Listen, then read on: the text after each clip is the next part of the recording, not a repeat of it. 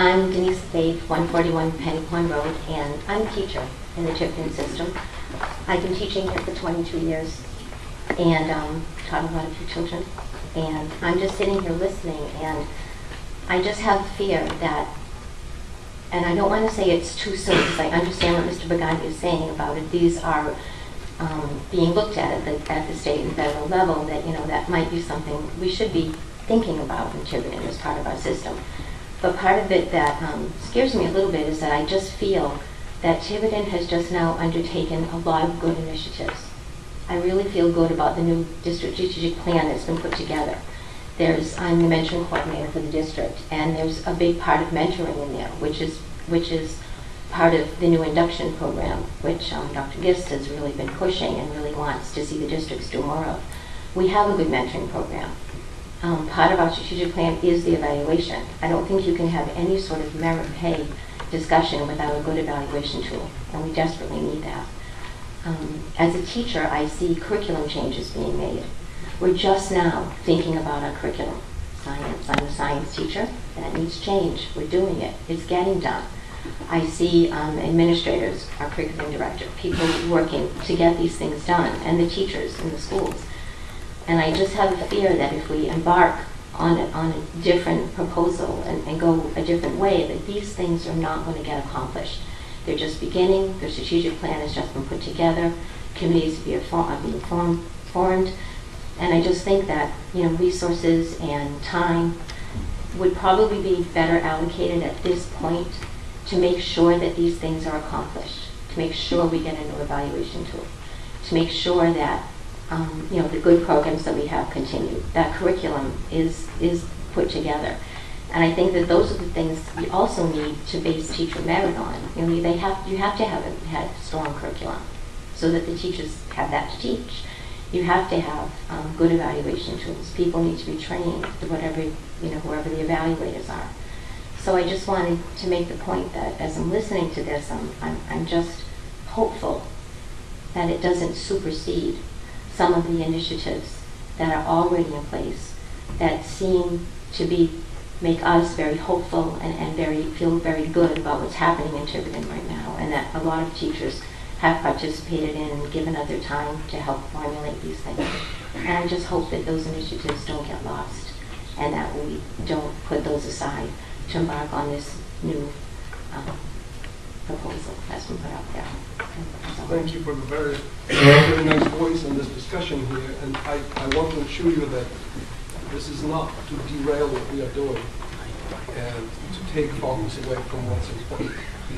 But simply, in my, in, in my heart, this is to be proactive, to do something which, when, when you hear these things coming in our directions, it's better to think about this in advance. Because, for example, when you talk about the evaluation system, obviously this evaluation system, whatever we are going to propose, why are we working on this? Uh, maybe we should, I'm sorry, Mike, maybe we should listen to Mr. Burke and say, well, let's wait until Stale tells us what it is, and then we'll tailor what we have to match what their guidelines are. No, we were going to work on this, we just put it a little bit on hold. So we want to do the best, we want to do what's the best for the community, and obviously we have to live within rules and regulations which are imposed on us by state. So this is not something that we are going to pull the trick and now say, oh, and here it is, and that's what we are going to do to you.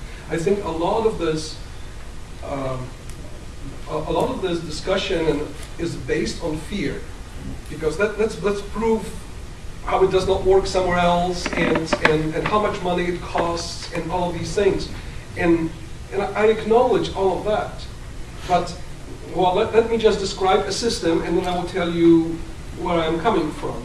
Uh, let us assume that it's going to work like this. That at some point, that's not my plan, but let's, let's let us assume that we fantasize for a moment.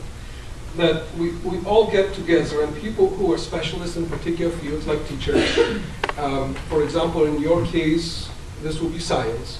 You say, let's just figure out what defines quality and excellence. This is evaluation piece in, in my field. This might be somewhat grade dependent. It could depend on the type of science, but between physics, chemistry, or science, general science in, in, in elementary school, in middle school. Um, these things are pretty common. These people kind of agree pretty much what defines excellence. Then the next question is, and how do we measure this? We don't have testing. Uh, what are the ways you measure your students' performance? Is this in somewhat related to how you achieve the outcomes of what you are trying to do? Because outcomes are defined and probably measured differently for people who teach art versus for people who teach math. Uh, there are different curriculum, sta- curriculum standards for different types of subject. How does this impact the whole thing? Now, if everyone feels comfortable with this, someone says, you know, I would mind being measured against these criteria because I, I believe that that's what we're supposed to be doing. And I truly believe that this is achievable. This is not something someone will do to us. This is something what we do to ourselves. And we are going to look at this from the perspective of there is a teacher who might need help, who does not match these particular expectations. We will figure out how to bring them there. What, what, what kind of methods we are going to do to actually bring them to that level. This is the evaluation piece. Now, this could be different for different subjects, maybe for different levels. Now, on top of this, the question, how are we going to evaluate this? Well, what if we do this, that there is a group of teachers who have a lot of experience. For example, this could be teachers who are known, could be uh, department chair in high school, uh, could be some senior teacher who has a lot of level, a lot of experience in uh, at particular grade level, and say let's have a specific committee which at the end of the year each teacher is going to submit some form of a report. In this report, they will say, just wait a moment about this report because people get scared of bureaucracy, is that what did I do during this particular year? And this committee is going to look at this report. It will be done based on some guidelines, what's supposed to be in those. And will determine if students achieve, if, if the teacher achieved a particular level, let's say excellent, satisfactory, very good, in that particular category. For example, teaching, based on what? That criteria which we have. Where? In science or in art. Okay? These group of teachers who develop the standards, they will also monitor their own performance. Is it possible? I believe it is. Now, this group of teachers will make a recommendation based on this. There's some form of criteria, say if you scored excellent in two categories and so on and so on, you are very highly recommended.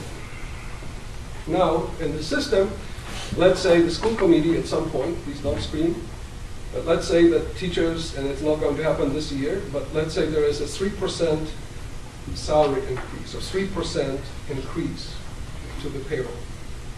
The 3% increase in payroll might be distributed by some formula which says 1% is across the board to compensate for inflation and things like this. 1.5% is put to one pot which is called merit 1, and half percent is put into another pot which is merit 2. Merit 1 is basically to eliminate everyone who actually is so underperforming that it does not deserve to get it. Great majority of the people will get merit one. Merit two, much smaller, is awarded to people who excel, who are who are exceptional in what they do. Maybe, I don't know, 20, 30, 40 teachers across the district would get merits two. When merit one, maybe all except two or three. And from that particular money, well, people get their salary increase. Now, what kind of categories would you have? What's important to the district? One is teaching. You cannot go without this.